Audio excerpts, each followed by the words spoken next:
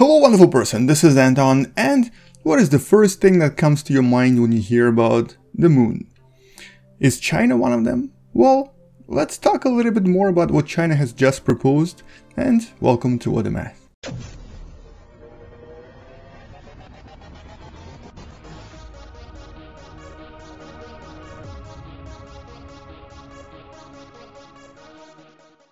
You know, when it comes to various moon colonies, every major space agency has quite a lot of ideas.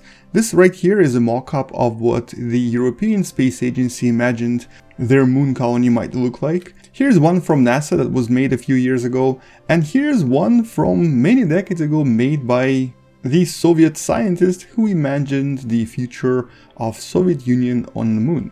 But so far, none of the countries were able to achieve what they wished or hoped to achieve. We don't have the uh, industrial USSR base on the moon, we don't have the research facilities uh, planned by NASA, and we definitely don't have these futuristic looking domes that were designed by ESA a few years ago.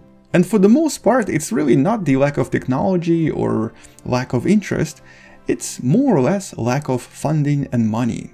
It's mostly because nobody really wants to pay billions of dollars for this mission, assuming that there might not really be a lot of financial profits to be made, unless we of course discover something very useful on the moon that can then be taken to Earth.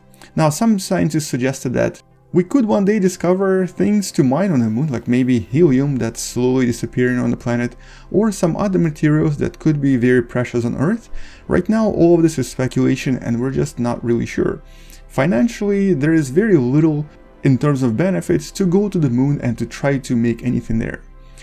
However, China has something unusual planned. And it's something that relates to an idea that has worked here on Earth really well, at least for China. Now, once again, this is going to probably create a lot of division in the comments because all of my previous China videos resulted in many people uh, focusing on the fact that China is definitely doing a lot of bad things. And I don't disagree with that. But there is still a lot of things that they are doing that no one else is doing. One of them was, of course, was the tremendously large reforestation project that I mentioned in one of the previous videos. But there is something else that they're doing that also works for them really well. And that something has to do with economics. So essentially, what China has just officially announced is that they want to create what's known as a special economic zone on the moon. Now, it might not really make much sense, especially if you're coming from the Western world or the English-speaking world where such a thing doesn't exist, but let me very quickly explain to you what this implies. The first special economic zone that was ever created anywhere in the world was this right here. This is the really famous area known as Shenzhen. And this is the image uh, about two years after this area was created with only one main purpose. China decided to create these regions around the country with only one purpose bring in the money from the outside and encourage people to come to these areas and to use the relatively cheap labor in these areas to construct, produce or make anything they wanted and then basically use this for an export. Essentially, it was a, a, way for China to create these areas where anyone can come in, use the labor, build and create anything they wanted, and then take those items and bring them back to their own country. And essentially, it was a way for China to bring in the external capital um, allowing them to not actually pay any taxes whatsoever and also be independent from any kind of governing, while at the same time helping those areas develop quite quickly and transform them into something that they never were able to do before. It worked amazingly well for Shenzhen, it became essentially the factory of the world where most of the electronics are produced today, and at the same time it allowed China to benefit from all of this financially, but also learn how to apply this to other areas. They've created a few of these around China, all of them or most of them were pretty successful, and most of the success came from the fact that people or companies that came in to do things there didn't have to pay any taxes, the labor was really really cheap, and at the same time none of the communist government ideals were actually um, effective there. So essentially this was an area where you could do anything you want, you can build anything you want and use very cheap labor and it slowly built up China using the finances from other countries. Having become pretty successful at developing these areas and also having essentially developed a very effective strategy for how to develop these areas, they then took these ideas and applied them to other countries. And this is what most people don't actually realize. They took this fundamentally Chinese idea and they exported it in a sense to countries that now had the cheap labor. Mostly because the Chinese labor was no longer cheap and most countries actually started to kind of go to other areas to try to create their products. And this image from Asia Briefing Limited summarizes quite uh, accurately where all of these zones are located around the world now.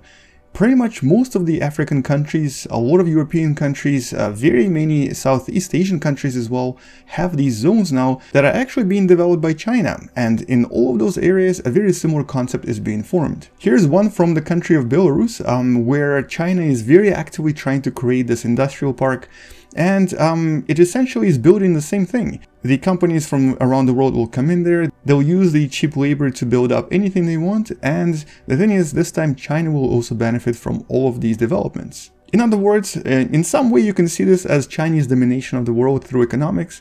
In other sense, you can also see it as a very brilliant way of helping the underdeveloped countries develop while also bringing a lot of really interesting ideas to the table something that no other country has actually been able to do just yet. So anyway, so all of this is politics and economics, this is not really the main idea for this video. The main idea is the recent announcement by one of the directors of China Aerospace Agency to essentially start planning a mission to the moon that would create the special economic zone on the moon. In other words, they are planning to create this type of a special economic system right here on our satellite.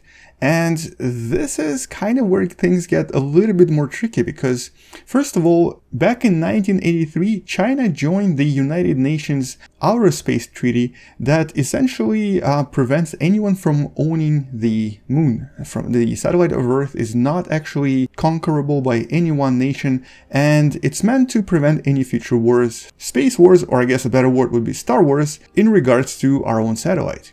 But the thing is, China is not really planning to own anything. What they're intending to do is build an area where other countries can bring their equipment, they can bring their resources, and they can start producing things with the support from Chinese infrastructure.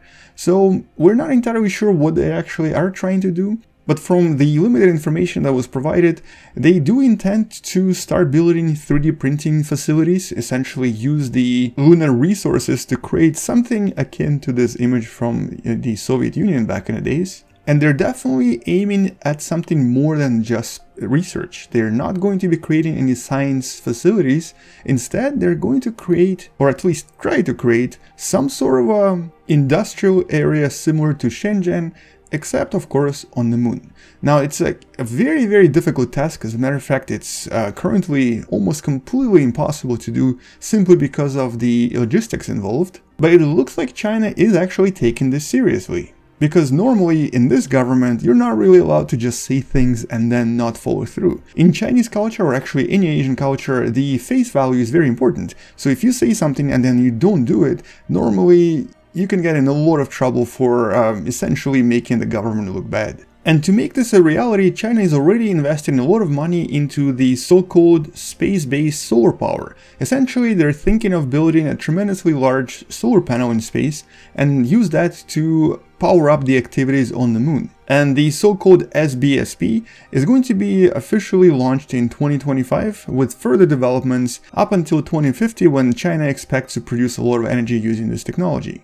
However, for the lunar station, China expects to come up with all of the necessary technology, including the 3D printing technology, by 2030. It's a very ambitious goal, and it's definitely something that might be not very easy to achieve because in the last few years, China has not really been doing so well financially.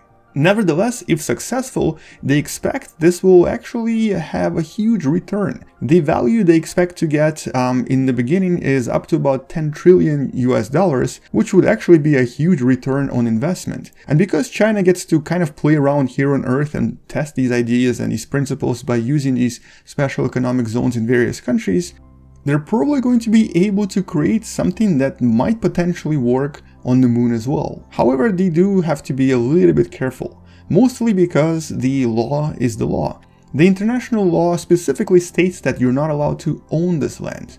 So they'll have to find a way to basically build this economic zone without claiming any ownership or remove themselves from the agreement, which might actually upset a lot of people and could create potential financial problems later on. Specifically because uh, China expects other countries to actually come and build things in that special economic zone. So if no one trusts China for quitting the treaty, they might not actually get any clients. Nevertheless, I'm personally really excited to see where China gets with this. I'm not entirely sure if they'll be able to successfully complete this project, and it's not that I don't actually believe that they can do it or that they're not going to have technology to do it, but remember, the Soviet Union also had these grandiose ideas and a lot of faith in their own structure that they'll be able to create something like this. Even in 1986, there was a very interesting newspaper article that I'm posting in the description below. This is from the New York Times that had a lot of ambitious ideas for the uh, Soviet Union in the 90s. They even expected to send a manned mission to Mars in early 2000s and they had a lot of things that they had hopes for. Then, approximately 5 years later, Soviet Union no longer existed. And it's a really interesting article to read. It does explain and show you what the um, typical scientists believed back in mid 80s in the Soviet Union. They had a lot of hopes and they actually did not think that it would be impossible. So in that sense, knowing what I know about communist governments and centralized governments in general, I would still take this with a grain of salt. And personally, my money is on Elon Musk and SpaceX. I'm not entirely sure I would trust a centralized government to complete projects 30 years in the future. Although if they could at least build this, that would be pretty impressive. Well, so once we discover more about what China is doing and once we actually hear a little bit more about their lunar mission, I'm definitely going to come back and make a follow-up video. For now, that's really it. Thank you for watching, subscribe if you still haven't, share this with someone who loves learning about space and sciences, and come back tomorrow to learn something else. I'll see you tomorrow, space out, and as always, bye bye or as they say in China, 再见.